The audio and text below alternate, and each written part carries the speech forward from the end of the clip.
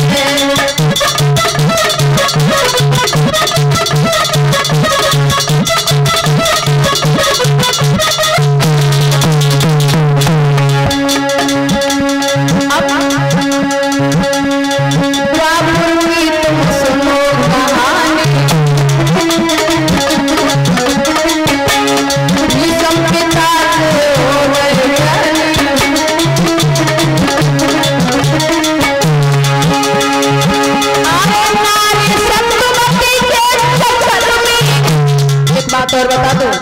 चक्कर तो है, लेकिन चक्कर उल्टा सीधा वाला है। एक ही प्रकार का चक्कर नहीं है, ना पड़ जाओ चक्कर में? चक्कर कई प्रकार के हैं, और चक्कर चक्कर सोच के चक्कर में पड़ गए तो जीवन भर चक्कर में ही पड़े रहोगे।